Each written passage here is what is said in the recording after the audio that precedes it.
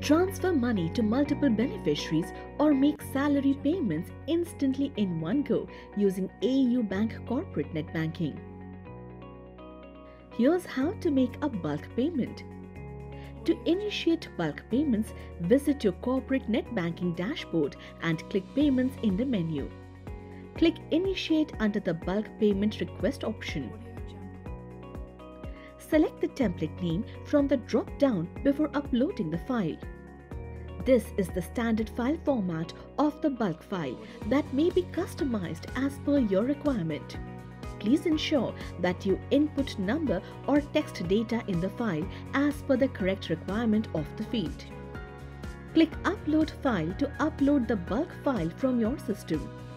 Please note that the 10-digit template name must be kept as prefix in the file name before uploading it. Click Submit after uploading the file.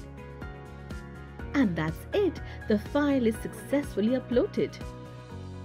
Now authorize your bulk payment request by clicking Pending Authorization List in Bulk Payment Request menu.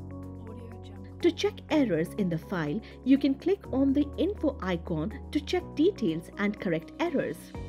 This is how the error details would appear for correction. In case the entry is error-free, you can confirm the transaction from the pending authorization list. User can approve transaction on batch level or transaction level. If the user wants to approve transaction on transaction level, user can click on respective batch and authorize the single single transactions. Next, enter the OTP for authorization. The transaction will now be processed. You can review details of the bulk upload here on clicking review list in bulk payment request. That's it. You can now view and download the payment advice from the review list.